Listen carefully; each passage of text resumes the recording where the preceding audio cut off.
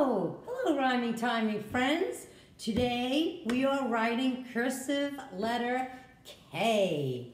Cursive letter K. I think uppercase cursive letter K is one of the easiest. Lowercase, mm, little difficult, but uppercase looks just like uppercase print K. Lowercase, if you practice lowercase h, then lowercase k will be very easy, but first, I have to say hello to my rhyming timing friends. My rhyming timing friends whose names begin with the letter K. Hello, Kathy, Caitlin, Kayla, Kristen, Kate, Caleb, and Khalil. Hello, how are you, all my letter K friends? I hope I didn't forget anyone. If, if I did, you have to remind me in the comments. Okay, let me show you letter K. Letter K starts up here, starts up here with this little bit of like hair, like a little bit of hair. And then a slanted line down. You pick up your pen. Come here, just like you do print K. Come here, on the next the top line, come down, make a little loop and a tail. Pretty easy. Lowercase k starts on the bottom line, slanted line up, backwards loop. You make the loop small because when you get to the middle, you've got to come down without a loop Go back up on that same line, give it a small loop, and then a little kick, a little kick for the K. One of the words we're going to write today, kick. Uh, let's practice together. Pick up your pen. Don't you love writing with pen for cursive?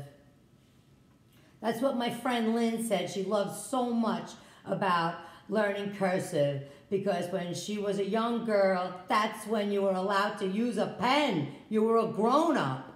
Grown-up people write in cursive. Okay. I hold I try to hold my pen like this so you can see. Now, letter K.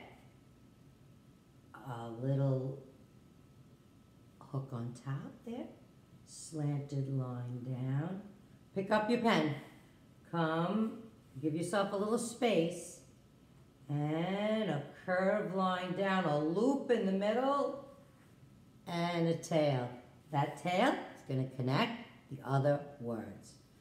Lowercase k.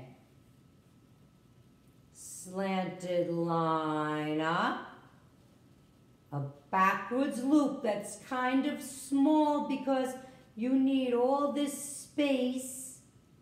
And then you come back on that line make a loop and a tail. I want to do lowercase k again with you.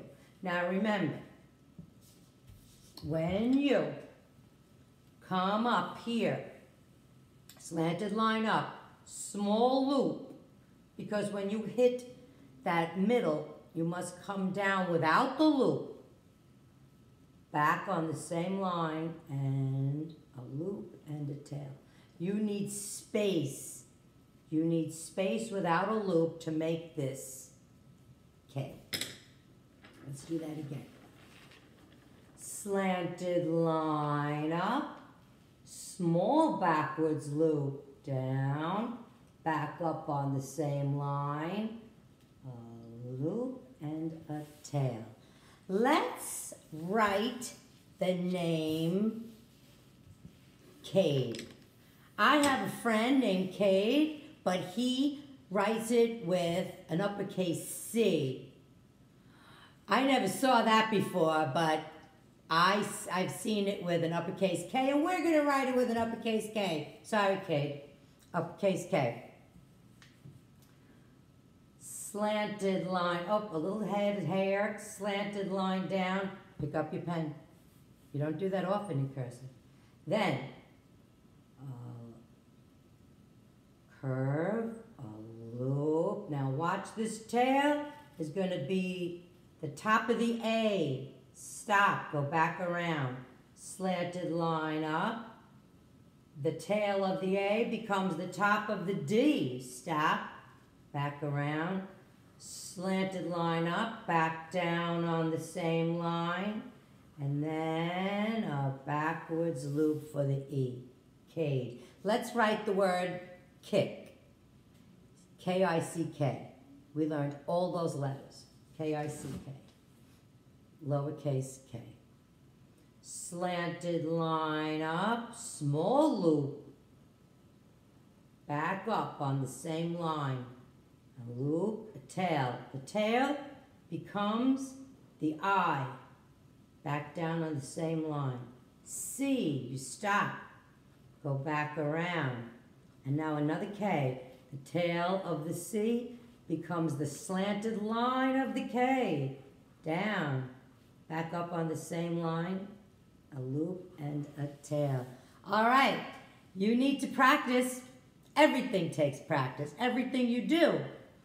You didn't learn print right away. You had to practice. It was very slow at first. And cursive is the same way. And once you're writing cursive, you'll write so fast. And then you can make it a style and make it your own style. And when you can write cursive, you can read cursive. And that's important. All right, boys and girls. Bye.